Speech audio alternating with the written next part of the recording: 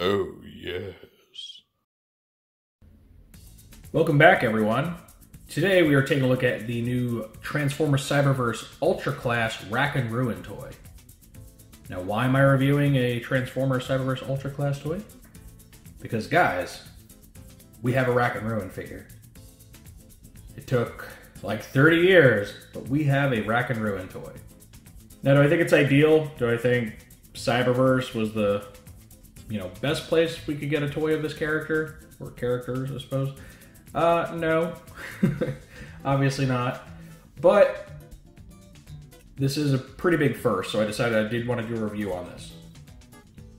For anyone not familiar with the characters of Rack and Ruin, they were originally introduced in the Transformers Marvel comics, uh, specifically the UK comics, as a pair of Autobot warriors that have been fused together through some means. I don't think the comics ever explain that one. Correct me if I'm wrong there. Uh, and they're a member of the Wreckers. So, you know, pretty minor background characters, but they always stood out as being very unique. Uh, they've only seen, you know, a few sparse appearances in fiction here and there over the years.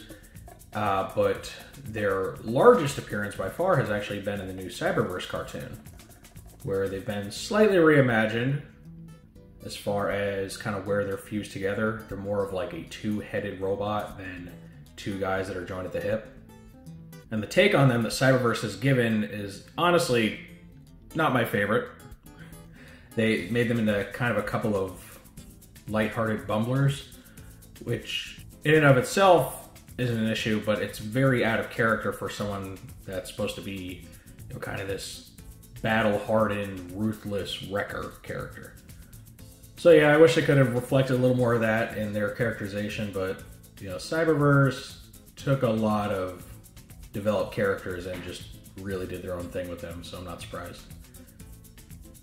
So anyway, uh, if you've seen my reviews before, you know this goes. We're gonna take a look at Rack and Ruin's packaging. We'll go ahead, take everything out of this, can't say box, um, half box? Not sure what you even call this. Uh, we'll see their instructions and then we'll look at the toy itself in both the vehicle and robot modes. Don't really have anything to compare them to because they're one of a kind. So it'll be a pretty brief review. And then at the end, I'll get my final thoughts. So Rack and Ruin, they have the whole Bumblebee Cyberverse Adventures sub-branding thing that I hate. You got the name front and center here. And they are part of the Energon armor assortment, which is why they have this little translucent blue chest piece and helmet configuration going on there. So they're a lot like the new Clobber figure. Uh, you got this pretty good artwork of them here up the top. Looks a lot better than the actual toy itself, especially because it has the white outline around the Autobot symbol here. It's just orange on green, which kind of makes it blurry looking. Nothing special on the sides on the picture of them. And then here on the back, you have the renders of them in their uh, robot vehicle mode, and their vehicle is a looks like a two-barreled tank or some sort of some sort of assault vehicle. And he does take 11 steps to transform, which is actually pretty good for a Cyberverse Ultra figure. These tend to be very simple. You got his name up here, and his function is Turbocharged Technician. And here's them showing off the little Energon armor feature. And yeah, that's really about it for the packaging. All right, here we have the oddly folded instruction booklet for old Rack and Ruin. I don't know why they fold it this way. Pretty clear you're supposed to fold it like a book, but okay. It just didn't fit in the packaging. Uh, so. You can see the uh, first bit just shows you where to store his weapon, or I guess where you pull it from. Also how to activate the Energon armor, how that works. And does the, what's this? This is folding his armor uh, back up and putting it away. It is spring loaded. Then over here, you just have his transformation to the vehicle mode. That's really all there is to that. All right, now here we have the vehicle mode for Rack and Ruin. And just seems to be some sort of armored car. It's got the little plate on the front there. I forget what these are called. I know there's isn't like a cow something. I forget. Uh, then you got two little guns here on the front. So very very dystopian future looking kind of vehicle. but done up in kind of an army green. Uh, you got some pretty obvious feet on the back, which is unfortunate. And then these blue details right here on what are his knees, or that's really the front of his shins. I don't know if they're supposed to be uh, windshields also. They kind of look like it, like there's somebody manning each of these cannons. I could see that. And then you got this here, which I don't know. Is that supposed to be two separate windshields, or is it supposed to be one, but is just obviously interrupted by you know his moving parts and stuff? Not really sure. Let's see. Looking underneath. That's awkward. You just have him uh, poking out and smiling at you. A little weird. Uh, you can see that little plate on the front here is formed by the back of his gun, which stores underneath nice and neatly. Uh, this rolls very well as well. Yeah. So no clearance issues, no friction problems, nothing like that. So the vehicle mode is sound. Now for the transformation. First thing you want to do, you're gonna kind of break his arms loose here from their connections. Come off basically where they meet the knees. And then you want to fold them down back perspective you're using. So you get that. Untab the legs from this part here. That flips up. Hello. Bring his like head and torso section all the way up and make sure this little plate just kind of holds it down. Flip this all the way up. Comes this pelvic part. Rotate the legs, bring them down, and then rotate the knees so they're facing forward. These guys, very particular way you have to do this. You know, swing it all up. So, I don't know if you're able to see that, but in result, you want all these different moving pieces to look like that. So, basically, you want this to be straight, and then this last section to fold all the way back, and then it'll snap in. That's it. That's how you get the basic robot mode. And little, little on the wobbly side, but not too bad. Just have some pretty good posability in the arms. They go pretty much every which way, except these wheels do give him some clearance issues with trying to raise his arms forward, so that's a problem. Does have bicep swivel though, so that's nice. Normal bending elbows. These guns unfortunately can't point forward. I find that to be a real shame that doesn't become some sort of like attack mode for him.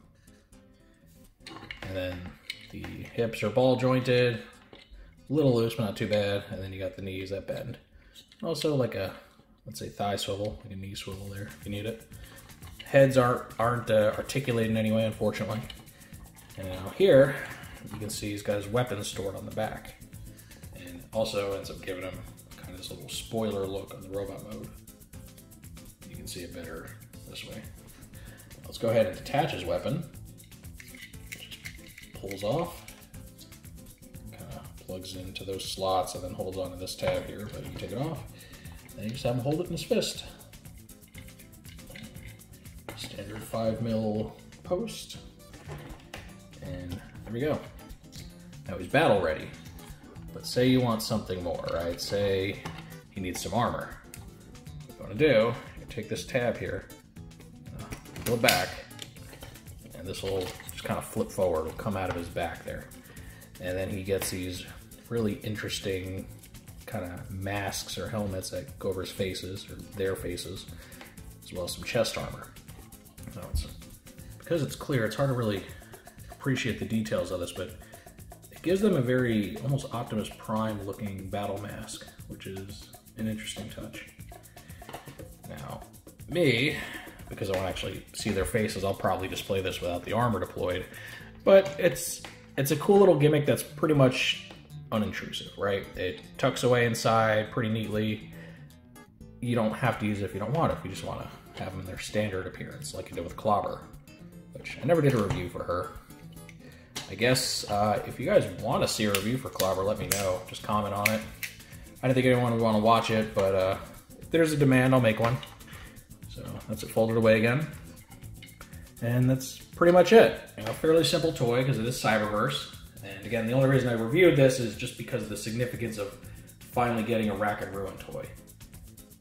Obviously, it's not ideal. I'd much prefer a more traditional interpretation of them and you know something in the Generations line, so it's higher quality. But you know, beggars can't be choosers. I never thought they would make a Rack and Ruin toy, so it's pretty neat. It is interesting that they did find a way to actually make them transform into something, because traditionally Rack and Ruin are not able to transform since they're fused together. So I would say this is an adequate representation, right? Probably the only and best we're going to get, at least for a long time, though.